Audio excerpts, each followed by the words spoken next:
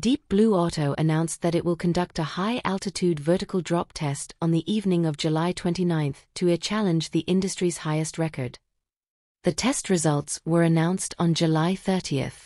Announcing the test results, Deep Blue Automobile said that the only criterion for test safety is practicality.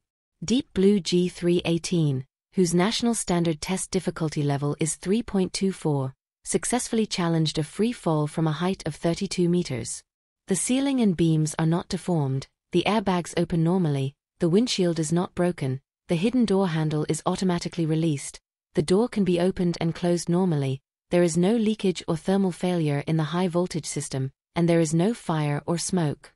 It can be said that this test result is quite strong, there is almost no major loss or impact in the vehicle, and it is reliable in terms of driver and passenger safety.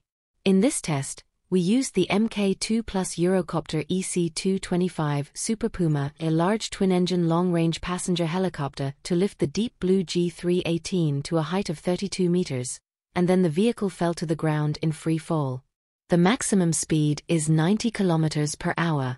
The Deep Blue G318 model was launched on June 13.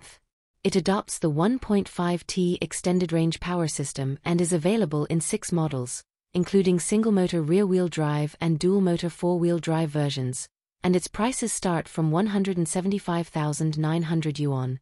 The car adopts a high-strength 7-ring mesh body structure and ultra-high-strength thermoforming technology, and the body torsional rigidity is 45,000 newton meters per degree. In the 90-yard high-speed harsh test environment, a dark blue G318 performed well, judging by the field footage. There was no damage to other parts of the body, only the head collapsed safely, and the internal driving area remained intact.